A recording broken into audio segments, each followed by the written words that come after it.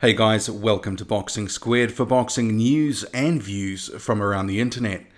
Deontay Wilder has taken aim at Joseph Parker in an interview, saying he's the weakest champion who was given a pass and is only looking to fight second tier fighters. Wilder was on the Boxing Voice to discuss Anthony Joshua, who was potentially looking to wait up to two years before fighting Wilder. Parker came up during the conversation.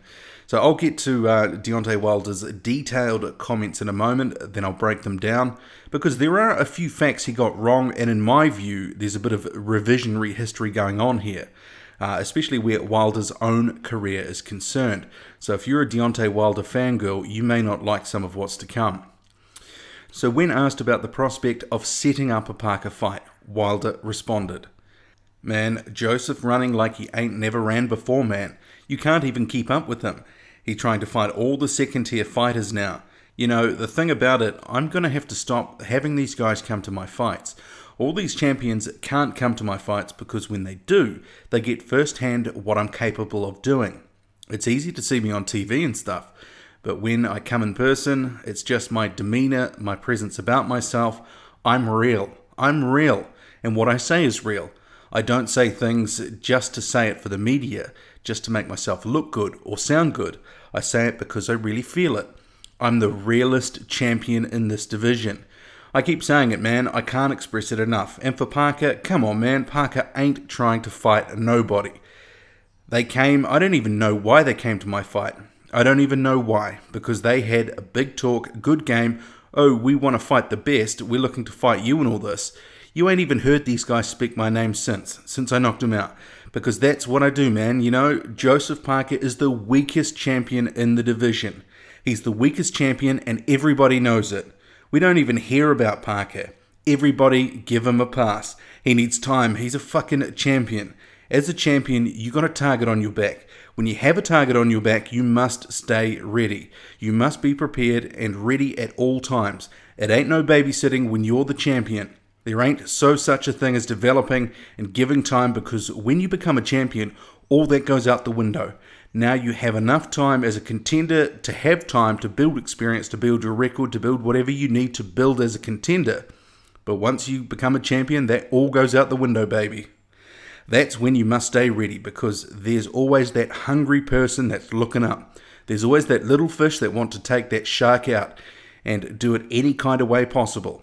So I don't want to hear the excuse they give Parker, oh, he needs time to develop and stuff like that. No, no, no. He is a champion. He's among the elite. You must stay ready. I just want the I just want the best. I want the best of the division. I want it so bad. I want it now.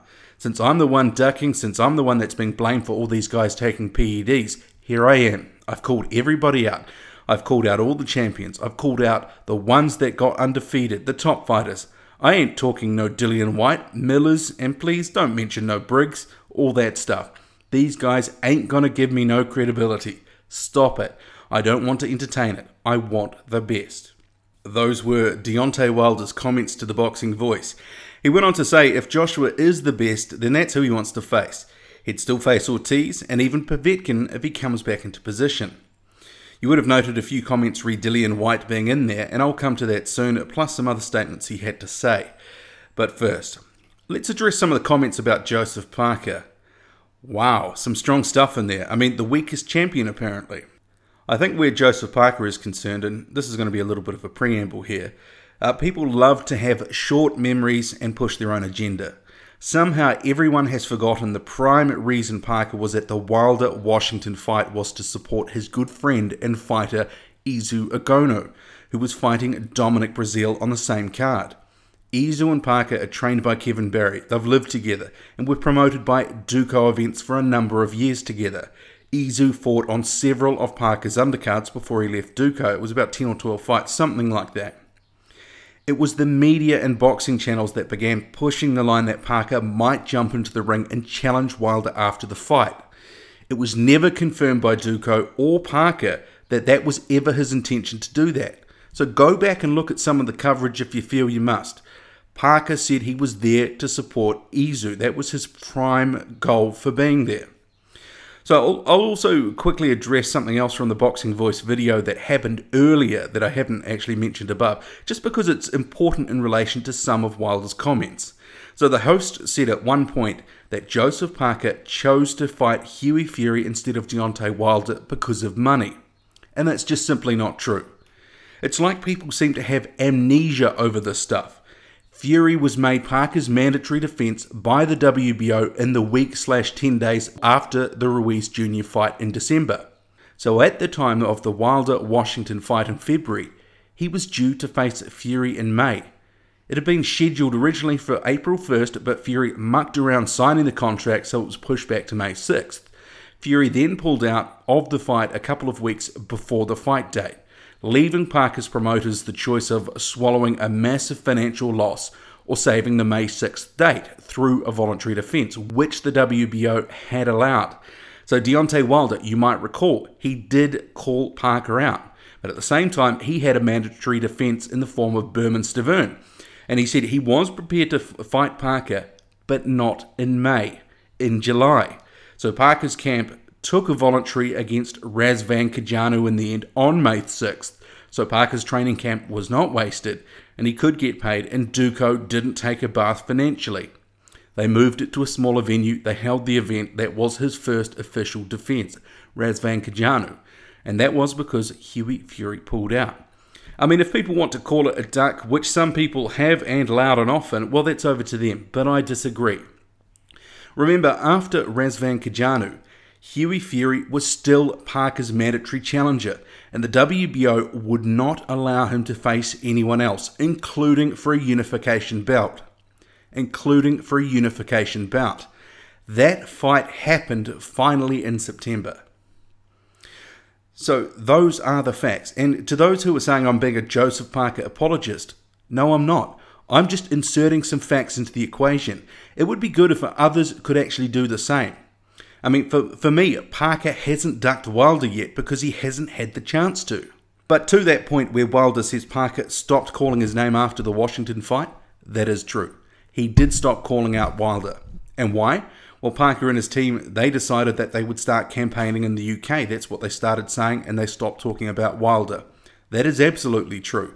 And the reason they started talking about the UK was because they considered it was the best option for Parker's career.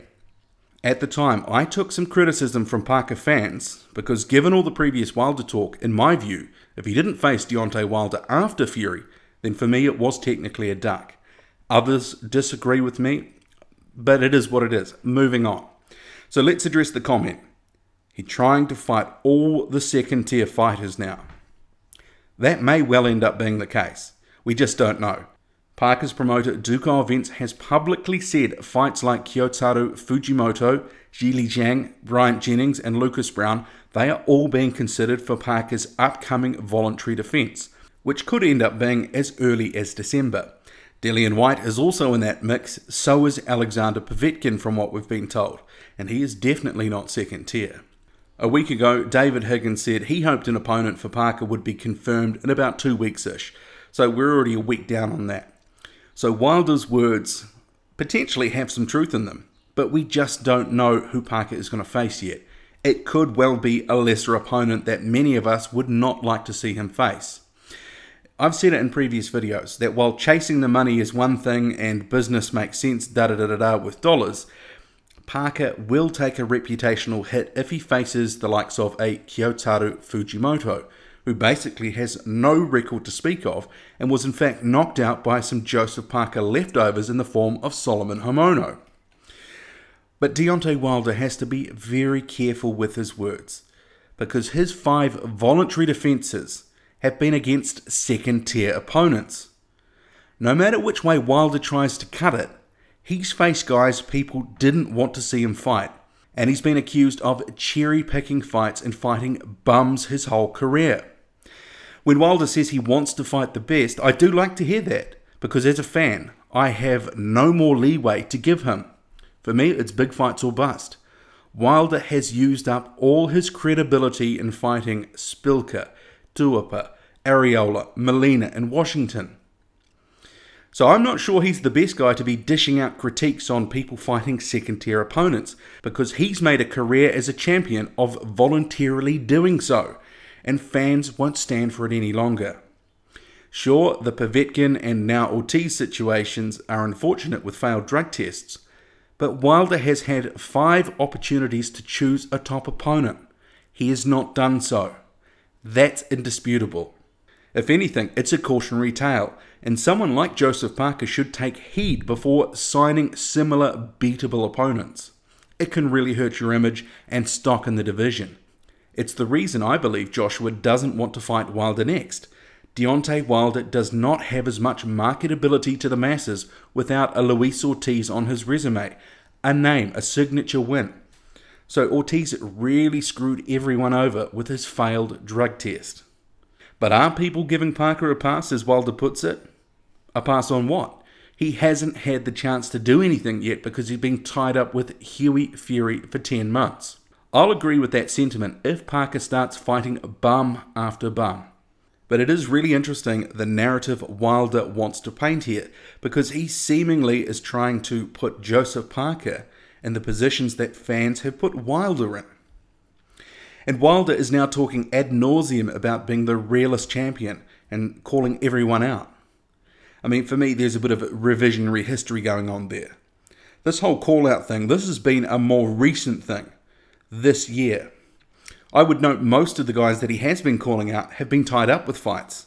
Or they've said yes to a Wilder fight, but Wilder doesn't want to know, even at short notice. Remember, Luis Ortiz said in, was it January when Andrzej Wawrzyk tested dirty for peds, that he would fight Wilder on a couple of weeks' notice. Wilder didn't want to bar a bit. But then all of a sudden, later on, he did. I'm sorry, Deontay Wilder. You don't get credit for calling people out. You get credit for fighting them. If your people are so inept at securing opponents, then fire them. They are part of the reason that the fans rag on your career. And I'll say it again voluntary defences against Szpilka, Molina, Arreola, Duhaupas, and Washington. Enough said. I'm not even sure why Wilder keeps attacking fans for having a go at his record. It actually is what it is. And arguably, Parker's opposition is just as good at only 24 fights. Maybe even better, some would argue. At least he has stepped into fights that people thought were 50 50 fights. Takam, Ruiz, Fury. So, as for being the weakest champion, now that's one thing for fans to say that. But for Wilder, it's very interesting indeed. I mean, especially given Stiverne is the best name on his record after 38 fights. I certainly agree Parker would have uh, the lowest profile out of the champions, but that comes from the fact he's been fighting out of New Zealand for most of his career. Wilder has been fighting in the United States, the former mecca of boxing. What's, what's he been doing for the past nine years? He is not a massive star. And I'm not even sure that Joseph Parker is the weakest champion. That's a very subjective thing. I would say that a Wilder Parker fight is a, is a 50 50 proposition. And I think Parker would be far and away the best opponent that Wilder would have ever faced. But it makes sense for Wilder to position Parker as the weakest champion and hit out at Parker because it deflects attention away from his record and the fact we're about to see another Wilder Stiverne fight. One the public did not want to see. Another meaningless opponent for Deontay Wilder and another meaningless name for his record. I do agree with Wilder that a champion should fight the best, stay ready, and be ready. But it's a pity he hasn't followed his own advice. I mean, people in glass houses and all that. I mean, that's why I say it's a truly cautionary tale for Joseph Parker. Chasing the money in Asia against second tier opponents, it will have its downside with fans. Some will start to label him the new Deontay Wilder. It's also interesting that Wilder won't entertain a fight with Jarrell Miller or Dillian Whyte, saying they are second tier. He would get some credit, but he's he's probably right. It kinda is big fight or bust for him now. So in terms of Whyte, he also said in the same interview that people basically want to see the comparison between him knocking Whyte out and AJ knocking Whyte out, and who does it faster so they can compare the two. Actually, that's true. That would happen. That would, you know, just happen because the same opposition. I don't understand why that's a reason not to fight Whyte, though, especially with a massive offer that he's had. But let's, um, he did actually also say, let's face it, let's be real. Dillian Whyte is going to be the same caliber as these guys I've already fought. I already know what's going to be said. I already know. So why waste my time with the Dillian Whyte? I want the guy that knocked Dillian Whyte out. That's who I want. He does make a good point. It would be good to see Wilder and Joshua, but in terms of uh, Eddie Hearn setting that fight up, because Joshua is very clearly the A side, Deontay Wilder firmly the B side. Hearn is not going to make that money unless it makes mega money. I'm not sure it does make mega money right now. It would be a huge fight right now, regardless. But he wants to really turn this into an epic money spinner. And that would have happened next if Wilder had Ortiz on his record. He does not. And the fact that Team Wilder has uh, no signature win after nine years, well, actually, that's Team Wilder's fault. No one else's. What do you make of this whole thing? Drop a comment. I'm sure there's going to be some uh, very firm views on this one. So drop a comment loud and often. Follow me on Twitter, boxing underscored squared. I'm out.